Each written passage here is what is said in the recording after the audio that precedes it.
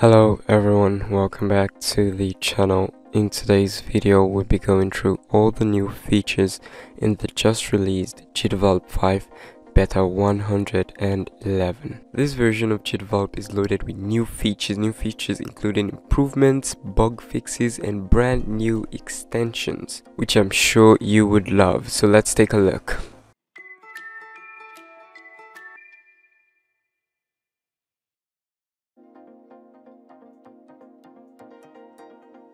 So first on the list we have add an option to package games as Android app bundles to publish them on the Google Play Store. Well, starting from August of this year 2021, it will be mandatory to upload Android app bundles to the Google Play Store. APKs will no longer be accepted, but you can still build these APKs in GDevelop 5 and try them out on your devices and distribute them to most of these um, app stores which still allow you to upload APK. So in the export project to a standalone game you can now see two options which allow you to pick um, to export your game as an APK or as an Android app bundle. So you can select whichever of this you want and let GDevelop package it for you.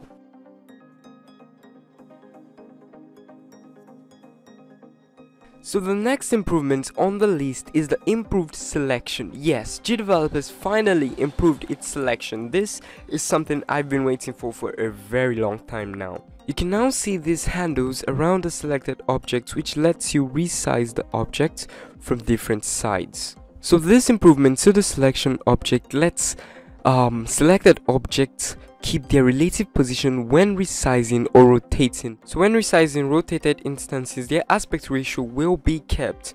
This um, new improvement to the selection makes it easier to edit chunks of levels, scale them, resize them, and rotate them. So now let's compare GDevelop 5 Beta 111 selection to that of GDevelop 5 Beta 110 selection. So on my right I have GDevelop 5 Beta 111 and on my left I have GDevelop 5 Beta 10. So you can see the difference between the selection handle right here.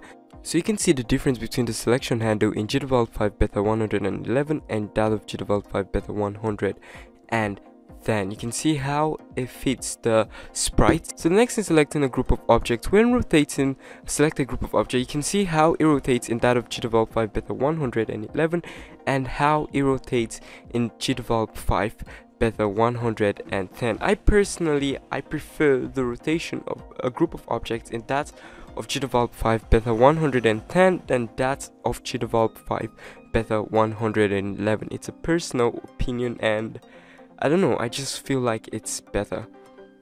Resizing the objects in Beta 10 is still very bad. Take a look. And that was fixed with this new resizing in GDevelop 5 Beta 111.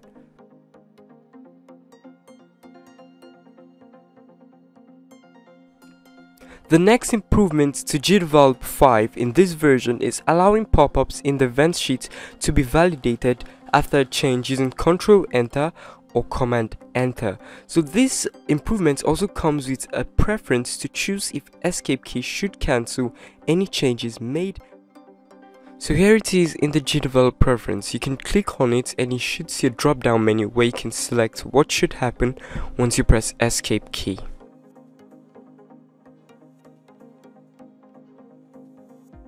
So GDevelop also received some UI improvements which includes new icons to the behaviors editor and icons in the project manager. But before we take a look at this if you're watching this video right now and you haven't subscribed do well to subscribe to the channel so you don't miss future uploads and also to help the channel grow. And if you're enjoying the video and you know someone who would do well to share the video. Thank you the first improvement to the UI is make the buttons at the bottom of the list of animations always visible in the sprite editor. These buttons include the add an animation, edit points and edit collision mask as you can see on the screen right now. These buttons are fixed to the bottom of the dialog. Now if we take a look at it in GDevelop 5 beta 110 you can see that these buttons require you to scroll to the bottom in order to access them. Now this is something that was improved on in GDevelop 5 Beta 111. I think this is a really great improvement to the engine. So the next UI improvement is put a button to restore the default collision mask in a split menu. Let's take a look at this. So if we go into our object and we edit the collision mask, here you can see this and if we use a custom collision mask and then we move our points to different angles we can still get the default points just like it was when before we modified it. You can do that by going and clicking on the drop down and clicking on restore. So you can see we get our default positioning of the point back the next UI improvement is put the button add a behavior to the object at the bottom of the list of behaviors. Now let's take a look at this one. So if we go into our object and behaviors, you can see this button add a behavior to the object is placed at the bottom of the um, dialog. So let's take a look at GDevelop 5 Beta 110 so we understand the difference between this. So in GDevelop 5 Beta 110 behaviors, you can see that this button is not placed at the bottom of the dialog rather it's placed directly beneath this note right here. So that's the UI improvement to that button. So the next improvement is hide preferences in the web app when they are not applicable for it. So preferences in the web app that are not applicable will now be hidden aka would no longer be visible the next UI improvement is display behavior icons in the behaviors editor. So let's head into our behaviors and let's add a behavior. Let's add the um, pathfinding behavior. So now you can see our pathfinding behavior has its icon displayed right there at the top right corner of the screen. Let's add in a new object. And here you can also see the icon which is displayed right there on the screen. If we go into GDevelop 5 Beta 110 and um, let's add a behavior. And if we add in the platformer character behavior you can see the icon is not displayed there. So that's basically the UI improvement to the behavior which allows you to view the icons of the behaviors the last UI improvements for Beta 111 is display extension icons in the project manager. So in our project manager you can now see the icons of extensions. Let's open up GDevelop 5 Beta 110 to see the difference. So in Beta 110 you can see there is no icon and in Beta 111 you can see there is an icon. So that's the difference between this version and that is the improvement in it.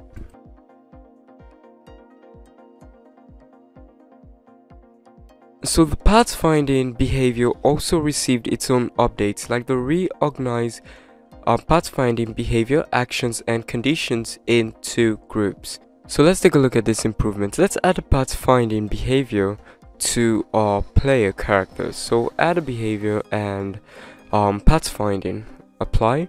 Now let's go into our events sheet and add an action and um, let's search for pathfinding okay sorry let's select our player and now you can see how this has been reorganized here. We can compare this to gdevelop 5 beta 110 let's do the same thing. Let's add um, pathfinding behavior to our player.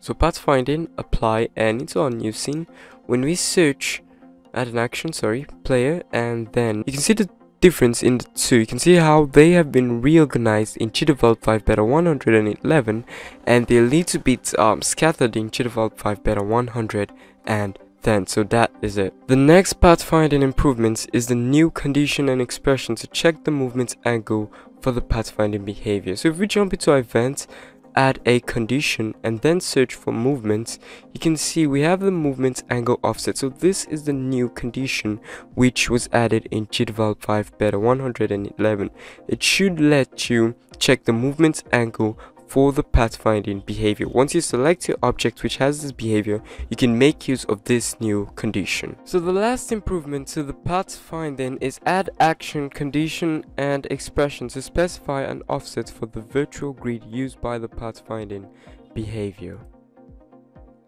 So if we jump into our events, let's add a condition and let's search up virtual. So you can see these two new um, conditions which are the grid X offsets and the grid Y offsets. As this are used to specify the offset for the virtual grid. So these two are not available in GDevelop 5 Beta 100 and 10. Another thing you'd notice is in the pathfinding behavior properties. If we go into our new scene and then player and behaviors, you see the two new parameters which are virtual grid x offset and the virtual grid y offset.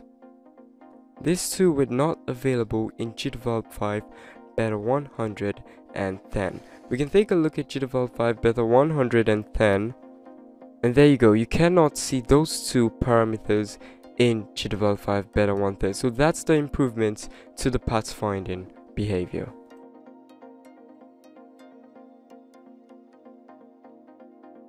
So the next improvement in this version of GDevelop is improvement to the auto completions when writing expressions. For this we'll be covering the add auto completions for animations and points of sprite objects.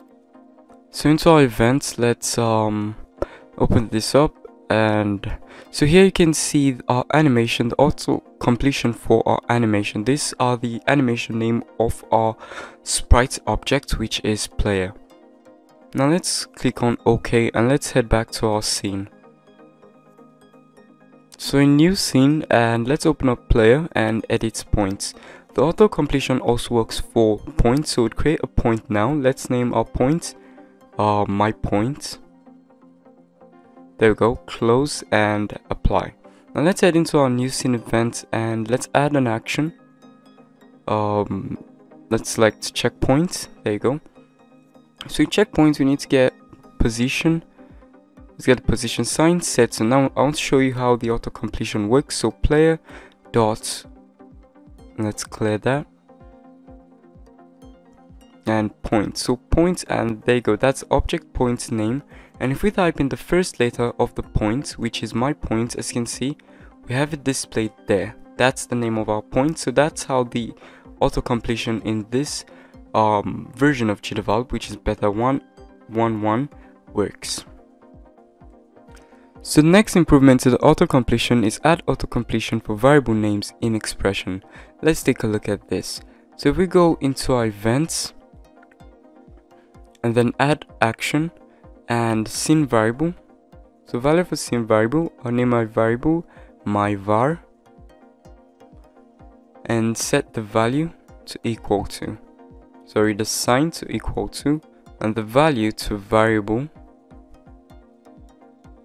So here we should see the names of the variable in this scene. So we have the variable player just dead. And that's how the auto completion for variable name works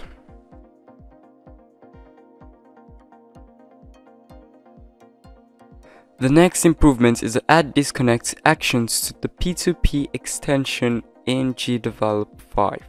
So let's take a look at this new actions. In our new scene, events, let's add an action.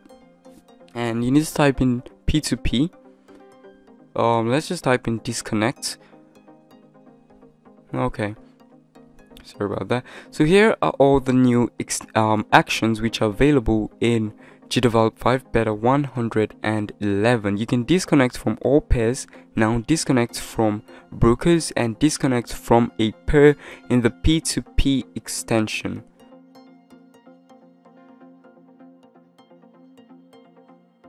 The next improvement is that the list of examples is now replaced by an example library. So let's take a look at this. In File, uh, create a new project and examples. So in our example tab, this looks different from what we had in GDevelop 5 beta. Um, yes, the GDevelop examples have been removed from the source and placed in a GitHub repository. The bonus of this is that this has reduced the size of GDevelop and we'll get new examples regularly as you can now submit your own GDevelop example which you want to be added to the engine by clicking on this button right here.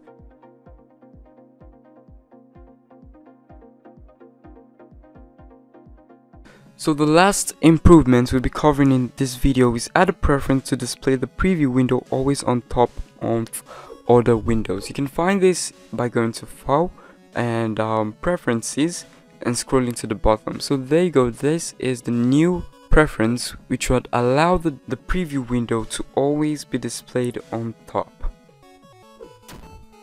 So this version also comes with some bug fixes and brand new extensions. If you want to check out a full list of all the improvements, um, bug fixes, internal changes and extensions, I'll leave a link in the description of the video. So before we call it a day, let me know which is your best improvement in beta 111 in the comment section below because right now my best improvement is the improved selection in GDevelop 5. If you enjoyed the video, do well to like, subscribe and share. I'll see you guys in my next video. Thanks for watching.